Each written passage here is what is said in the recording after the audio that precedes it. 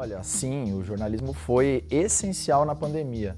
É, não só como uma atividade regulamentada em decreto, mas, sobretudo, pela divulgação de informações que foram essenciais para que a população soubesse se prevenir, soubesse tomar as medidas necessárias, soubesse que é necessário confiar nas autoridades médicas, enfim, na informação científica.